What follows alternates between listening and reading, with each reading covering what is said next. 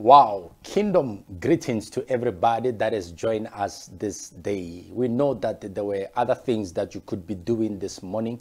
We don't take it lightly that you are here, you have tuned in, and we'll try by all means to do justice to the cause.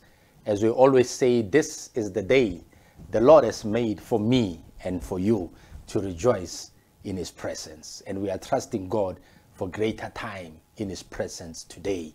Let us pray. Father, in the name of Jesus, thank you, Lord, for hearing this prayer. I invoke the anointing of the Holy Spirit right now to open up the eyes of our understanding. I pray for revelation, knowledge, wisdom, understanding, and the spirit of discernment. Let your word, my Father, be acceptable and receivable. Right in the midst of the valley that we might be going through, let your word somehow make sense in our lives. Thank you. We give you the honor and the glory in the only name that makes sense, the name of Jesus. Oh, let me hear you say amen. I am excited. My name is Thabo Mogotlane. I'm the pastor of Royalty Baptist Church and we're going to buffet together in the presence of the Lord. The scripture says one day the grass will wither and the flowers will fade away, but the word of our God shall stand forever. Can you hold your Bible in your hand? Let's make a confession before we get into this word. Just say this Bible is God speaking to me. I believe and I receive the word of God as the truth and nothing but the truth for my life right now in Jesus name.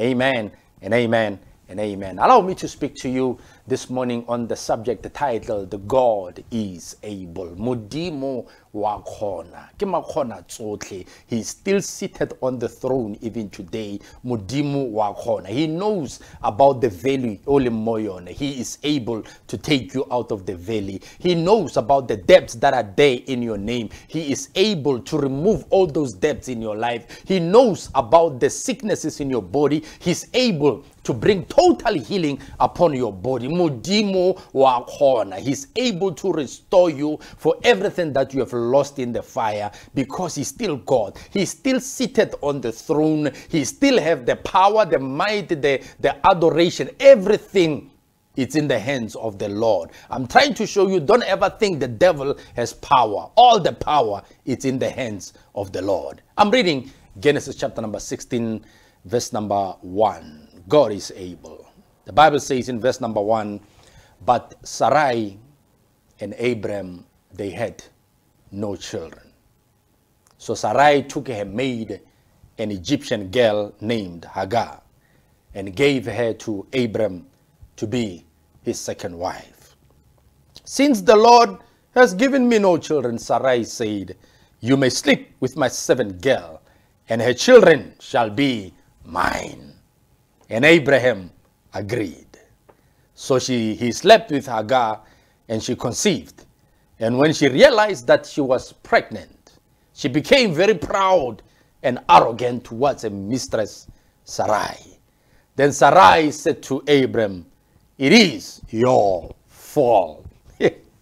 For now this servant girl of mine despises me, though I myself gave her the privilege of being your wife. May the Lord judge you for doing this for me. Oh, Banna Sarai. You are the one who gave this uh, seventh girl to sleep with your husband. Now you blame your, your, your husband. May the Lord bless the reading of his word. Now, when you study the, the Bible, there are some names that we use to identify with, with God based on what God has done for us in our lives. These are not the names of God, but are the names that people used in the Bible in order to identify with God based on what God has done in their lives. You remember after David got a victory, uh, he, he called God uh, Baal Perazim, God of the breakthrough.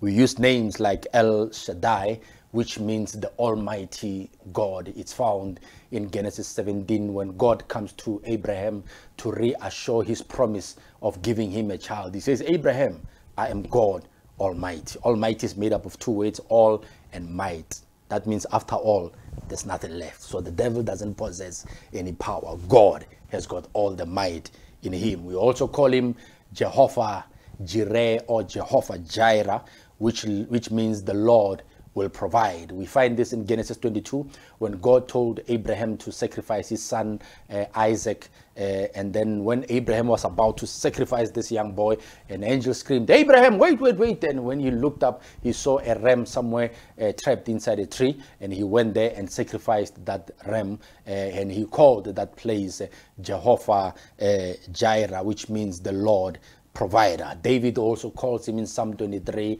uh, Jehovah Ra, which means the Lord is my shepherd. This boy has been rejected. It's somewhere in the wilderness, and he knew that there's no hope that he has, but the Lord remained his shepherd. I like what he says. He doesn't say the Lord is a shepherd, but he says the Lord is my shepherd. It's a personal relationship. And we also call him Jehovah Rapha, which means the Lord that heals. We see this in Exodus 15 when God reaffirms his promises on the children of Israel that I will never take the, the sickness that I've put on the Egyptians and put it on you because I'm the Lord that healeth thee, the Lord your healer, Jehovah Rapha, the Lord who heals. He says in Jeremiah 1:12 that I watch over my word in order to perform my word. Once I spoke a word upon your life, I will perform that word in your life. Paul also makes a reference to the life of Abraham when he wrote a letter to the Romans church in Romans chapter 4, uh, verse 21. He says, Fully, Abraham was fully satisfied and assured that God was able and mighty to keep his word and to do exactly exactly what God has promised Abraham, even though physical evidence was against his faith. But Abraham was fully convinced that God was able and capable to do exactly what God has said. Now, where we have just where we have just read in Genesis chapter 16, when you get the background of it from Genesis chapter number 12, you see God coming to call Abraham. Is the first calling of Abraham, where God tells Abraham, Abraham, I want you to leave your household and your father's house, take your wife and your property, go to the land that I will show you. Underline the word that the land that I will show you. God didn't give him any map or any GPRS. That means God, I mean, Abraham has to be fully dependent on God for the direction. And God tells him, If you agree with me, I will bless you. I will make your name famous and distinguished. In you, all the families of the earth shall be blessed. I'll make you a dispensary of the blessings. I will uh, bless anybody who blesses you, and I will curse anybody who curses you. And Abraham took his wife, took his property, but he made one mistake. He took Lot, his nephew, with him. God only told him, Take your wife and your property go. But he took Lot with him. And we know along the way, Lot cost Abraham a lot of problems. Once you take people that God didn't tell you to take, they will cause a lot of problems in your life. And when Abraham arrived at that place, he found that there was famine in the land and he went to greener pasture, which is Egypt. Egypt. By the way, Egypt is not the promise of God. Abraham took his own decision. He left that place and went to Egypt. Why did God lead him to a land when he knows there's famine in the land? Is because he blessed him. Remember, Proverbs 10, it says, The blessing of the Lord will bring wealth to you without toiling from your side. The blessing is able to turn a dry, disoluted land into the garden of Eden. So the blessing of the Lord was supposed to remove the famine in the land. But Abraham, he took a shortcut and went to Egypt. Egypt is not the promised land. And I can tell you, once you go to the places that God didn't ordain for you to get there, you will end up compromising when you get there. Guess what? When they arrived at that place, Abraham tells Sarai, Sarai, you are a beautiful woman. By the way, Sarai is almost 65 years old. Sarai, you are a beautiful woman. The men of Egypt are going to kill me and take you away from me. When we arrive there, tell them you are not my wife, but you are my sister. A compromise. Make them to tell a lie because they went to the wrong place and they lied when they get there. And you know that way most of us in the relationships where we are, the foundational phase was based on a lie. I mean, you meet this woman, you are driving a Mercedes Benz, you know that that's, that car is not yours, it's your cousin's, but you tell them it's your car. And lies have got a way of coming out. Whether you hide them, they will always come out. Lie. Once you are in the wrong place. You remember the Bible says in Genesis that the two that God has brought together, no man should separate. I remember uh, Proverbs 19, verse 14, it says, A wife who has understanding she comes straight. If you are a woman, you can put a husband who has understanding. They come straight from the Lord. So that means if God has brought me together with this woman or this man, if you are a woman, you don't have to lie. God has already put the ability of understanding on the inside of them. But once you attach yourself to what God did not ordain, it will cause you to tell a lie and compromise. That's why Abraham and, and his wife Eve, they find themselves in a position where God did not tell them to go there and they ended up compromising and lying. Because many people, we, we, we are not willing to wait on the Lord. I like what the Bible says they that wait on the Lord, not for the Lord. The reason why we get tired is because we are waiting for the Lord. God has already done anything that is supposed to be done concerning your life. So when you wait, you don't wait for God, you wait on God. And it says, their strength shall be renewed. Let me give an illustration. Let's say uh, you are a waitress or a waiter, you work at a restaurant. Your duty is not to wait for the customers, but your primary duty is to wait on the customers. What do I mean by waiting on? When you arrive at your workplace, you make sure that the floor is clean. You make sure that the table are set. You make sure that the utensils are clean. You make sure that the chef is on time. You make sure that the menu corresponds with the food that have been prepared in the kitchen. In doing that, you are waiting on the Lord. You are busy preparing for what is coming on you. You are not waiting for God, but you are waiting on the Lord. And the Bible says your strength strength shall be renewed. Strength and strong are two different words. Strong has got to do with the physique, the outside appearance, but the strength is an inner thing. Your faith, your belief, your hope in God shall always be renewed because you are waiting on God. Most people are waiting for Master and Miss Right, but this is time to make you right.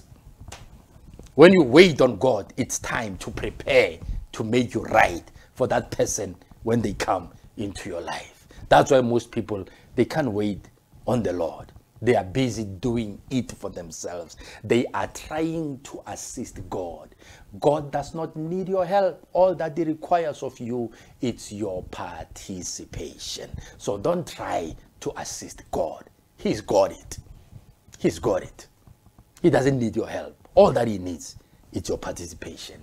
They tried to help God and they went to the place that they were not supposed to be. But God kept his promise. He kept his promise. Now in Genesis 15, God comes to God in verse number 4. He says to Abram, he says, And behold, the word of the Lord came to him, him, Abram, and saying, this man shall not be your heir. This man referring to Eliezer. Eliezer is one of the trusted seven in the household of Abraham. Now, God, uh, Abraham was telling God, God, uh, I don't have a child.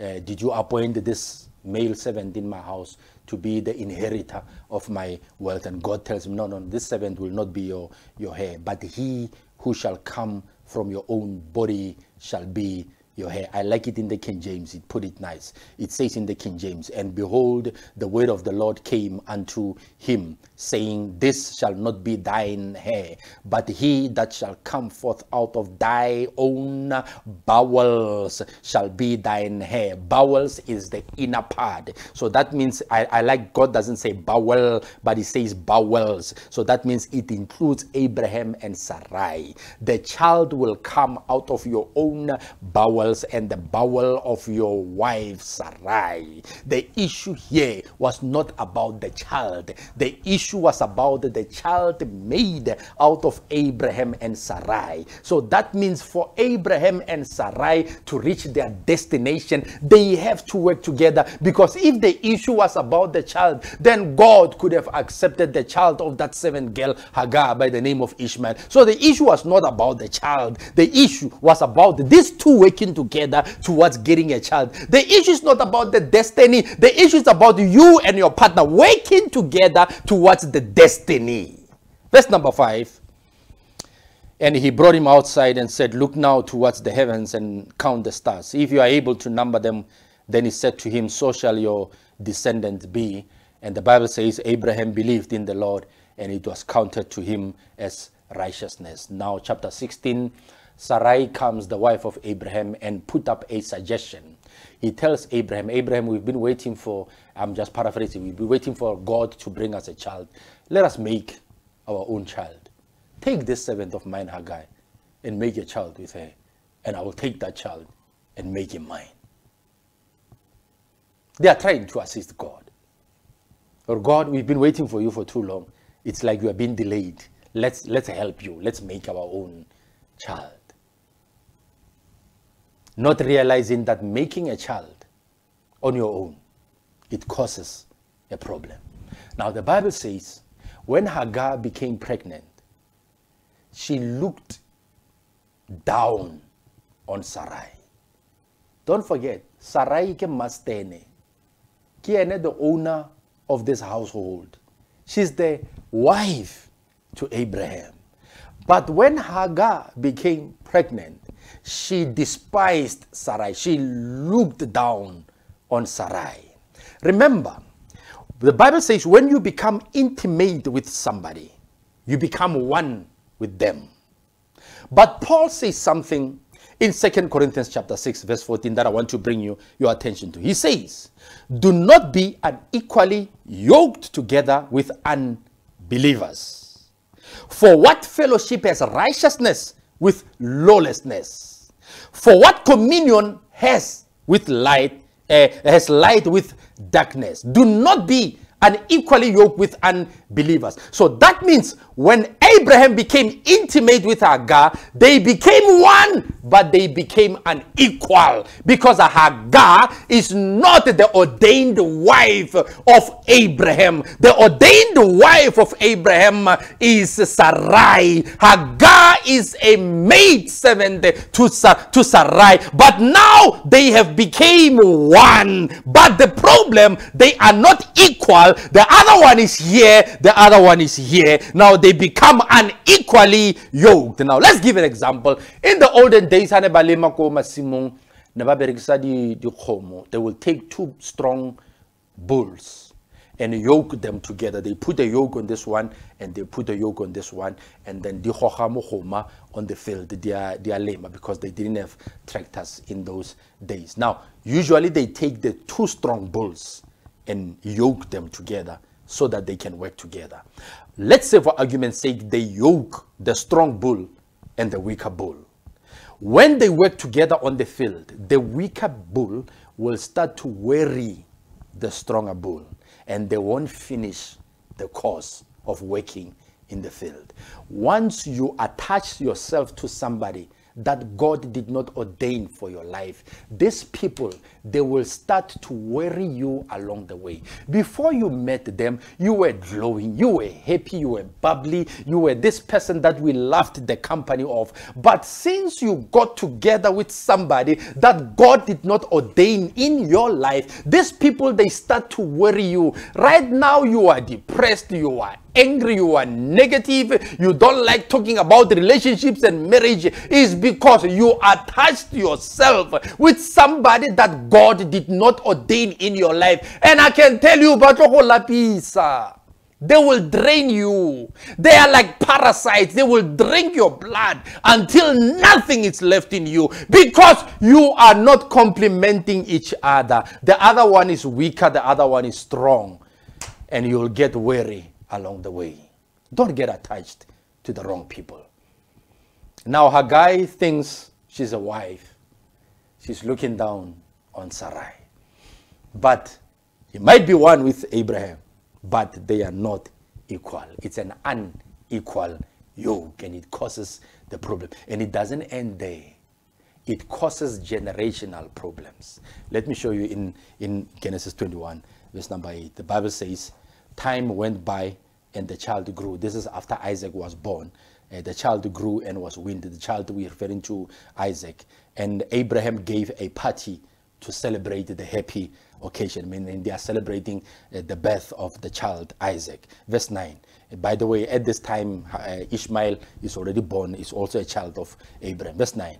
But when Sarai noticed Ishmael, the son of Abraham, and the Egyptian girl Hagar teasing Isaac, meaning they were just making an ordinary joke with Isaac. Verse number 10. She turned upon Abraham and demanded, Get rid of that slave girl and her son. He's not going to share your property, meaning your wealth, with my son. I won't have it. I better again. I won't allow this thing to happen for that slave girl and a son to partake in the wealth with my son. This upset Abraham very much, for after all, Ishmael too was his son. That day, when they made a child with Hagar, they never realized that they were causing a generational problem. Today we can speak about generational curses, but I can tell you God is not the one who curses you. This problem, it originates from the problems that you started back there when you attached yourself. You made yourself one with the people that God did not ordain to be with your life. Hardly did you know that this problem is going to affect your children and your children's children for generations to come. And I can tell you today, the problem here, Isaac and, and, and Ishmael, it did not end in the time of Abraham. Even today, 2020, there is still a problem. Yeah, Ishmael and Isaac even into this scenario. But it, it affected generations and generations to come because they decided to attach themselves to the people that God did not ordain. But God is faithful to his promise. In Genesis 18, we see a scenario whereby Abraham is sitting under the tree. Uh, he saw three men passing by these men were angels going to destroy the city of Gomorrah and uh, Sodom. And the spirit of discernment told Abraham, Abraham, these are not ordinary men, these are angels. And Abraham invited them into his house and he prepared a lunch for them and they had a meal. After they ate, they asked Abraham, Where is your wife Sarai? After they ate, these men were not coming to Abraham's house. They were going to destroy the city of Sodom and Gomorrah. But Abraham invited them into a house. He prepared a lunch for them. Hasnebaja. I'm going to preach that sermon one day. There's power in the sharing of meals. In fact, it's a sermon for another day. Now, Sarai, your wife, will have a child next year, this time. They are talking to Abraham. And Sarai overheard them and she laughed. I want to draw attention to what the angel says in Genesis 18, verse 14. He says, Abraham is anything too hard for the Lord.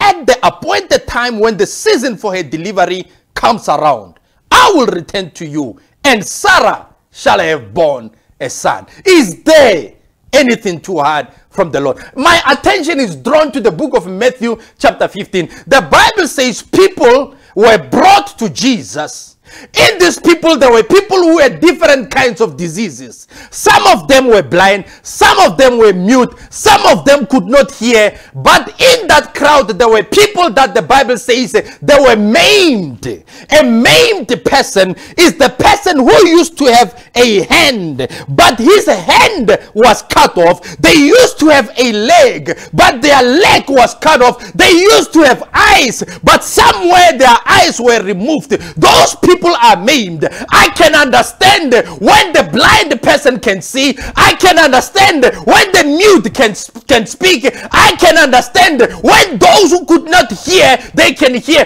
But a maimed person, and the Bible says Jesus, he healed them all from those sicknesses. That means the maimed person who did not have a hand when Jesus prayed for them, their hand started to grow and their hand come into a life again.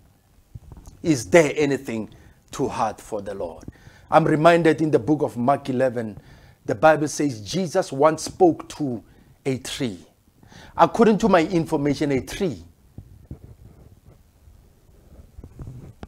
doesn't have ears. But this tree responded to what Jesus says. Is there anything too hard for the Lord?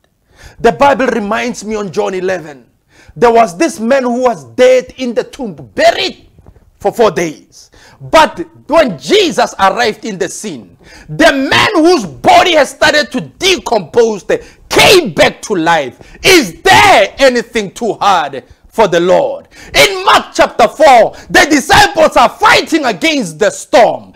Jesus is asleep in the boat at the back of the boat. They arose, Master, don't you care that we are about to die? And Jesus arose. And the Bible says when Jesus arose, akhalimela sefifo, abulela lele watle. According to my understanding, sefifo ke moya, hasena matlo, hasena ditsebe, hasena na molomo lewatle ke metsi ga ditsebe mara when jesus spoke to them they responded to his voice. Is there anything too hard for the lord? The same jesus was buried in the tomb but on the third day the tomb could not accommodate him anymore he arose he's now seated at the right hand side of the father is there anything too hard for the Lord.